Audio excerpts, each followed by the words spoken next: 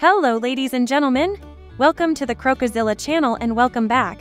In the first part of this video, I'll take you on an exciting aquatic-themed route where we transport gigantic fish, testing mini tractors in duels. Competing on this route are Fendt, Rigitrac, McCormick, Deutz Fahr, and Landini. In the second part, I'll show how I turn sunflowers into chaff and transport it to the farm. Joskin trucks and Case tractors equipped with 3-ton weights and wheel loaders, handle large quantities as we reload the trucks. In the third part, enjoy a duel between Case, Fendt, Landini, Valtra, and John Deere tractors transporting pigs.